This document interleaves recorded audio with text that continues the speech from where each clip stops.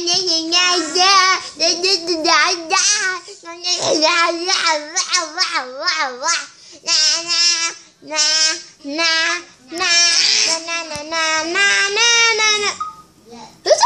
this? Ah, Jake, no, don't record me.